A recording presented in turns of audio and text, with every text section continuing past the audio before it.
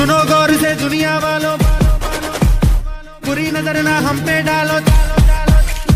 चाहे जितना ज़ोर लगा लो सबसे आगे होंगे तो सुनो गौर से दुनिया वालों, बुरी नज़र ना हम पे डालो। चाहे जितना ज़ोर लगा लो सबसे आगे होंगे हिंदुस्तान। हमने कहा